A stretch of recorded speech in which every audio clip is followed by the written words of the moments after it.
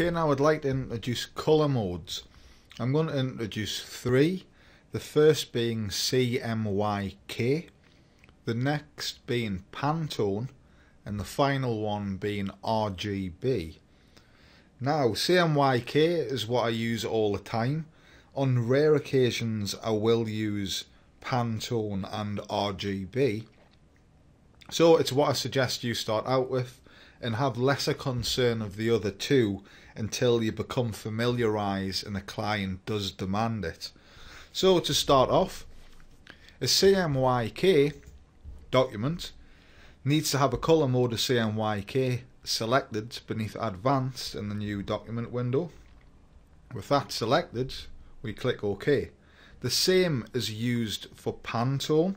If we're working with Pantone, we can also select CMYK because the CMYK mode can replicate Pantone colours. If we were to choose RGB, this mode can't replicate Pantone colours. So we'll go in and click OK. And we'll hide that artboard. And we'll paste in these. Now as you can see, we have a colour named cyan, a colour named magenta, a colour named yellow, and a colour named black.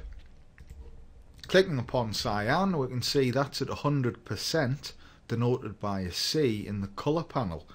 The rest are turned down to 0%. So there's none of those colours, none of magenta, none of yellow, and none of black denoted by a K, which stands for key, which we won't get into. It just stands for key.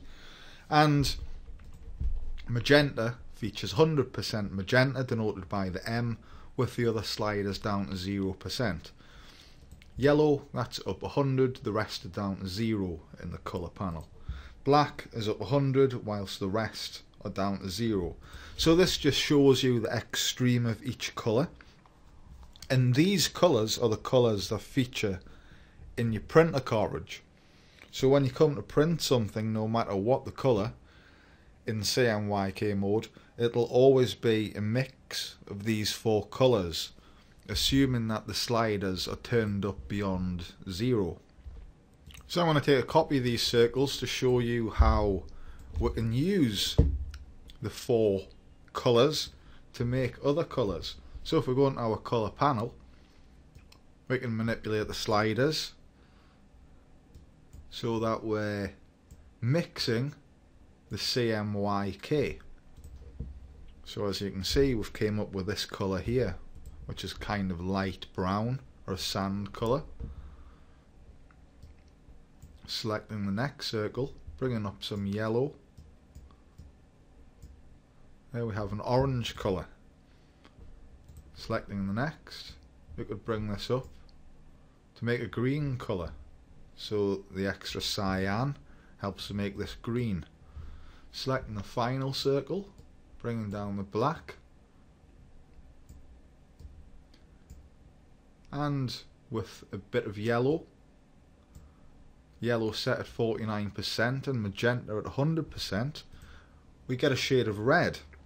So this is how the CMYK colour mode works and all default colours you see in the swatches panel are also composed of those four colours. Quite often the client won't be familiar with colour modes, so the CMYK option is the best default to start with. If you know that the client is planning some particular printing, then you can ask if they've been in contact with their printing company to confirm that they don't require or they do require the Pantone colour system. So I'm going to go right ahead and show you Pantone. I'm going to click window at the top of the screen, swatch libraries.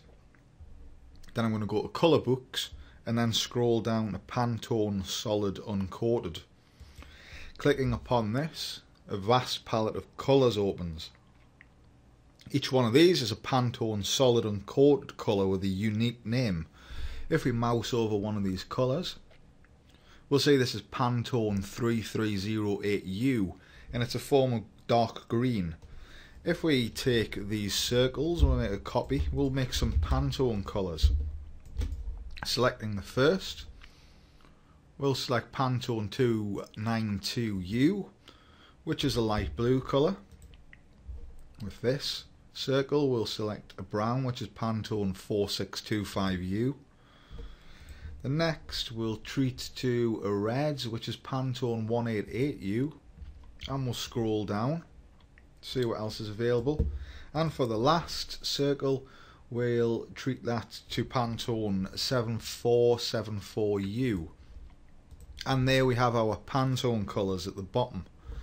The difference between Pantone colours and CMYK is that each Pantone colour is developed using its unique ink, whereas CMYK colours are developed using a combination of cyan, magenta, yellow and black or at least some use of those colours depending upon the position of the sliders we adjusted earlier. Now selecting one of those Pantone colours you might note that those CMYK sliders have now been replaced by a Pantone single ink tint slider. So now the only change we can make is to reduce the tint of that single ink down from 100%. Now I'm going to close down that Pantone window and I'm going to go ahead and show you how to develop an RGB which might be a rarity but I'll show you anyways. Go to File New and for an RGB document we need to select RGB in colour mode underneath Advanced. There is a warning sign there because it's not too common to develop an RGB as I've already said. So click OK and I'll just rid of that artboard and we'll do three similar circles.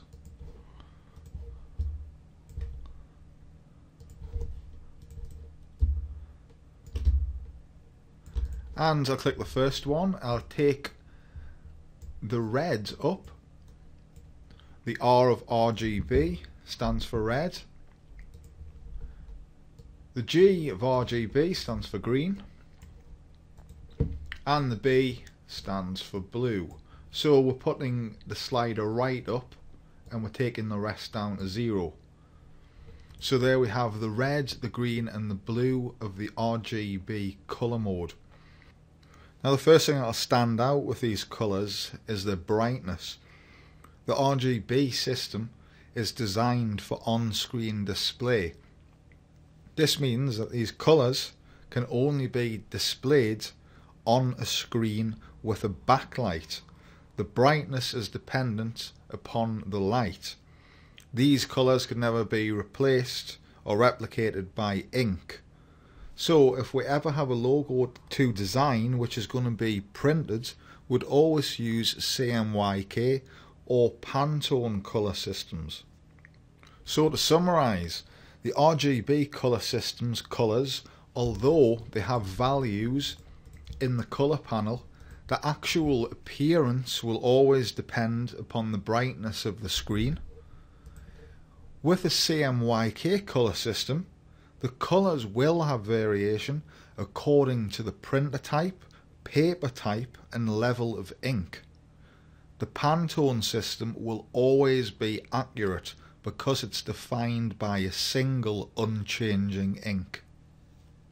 The Pantone system in print is colour perfect but it doesn't offer the same cost effectiveness as CMYK which is a lot cheaper especially whilst printing medium which includes a vast array of colours. So this concludes the explanation of the three primary colour modes.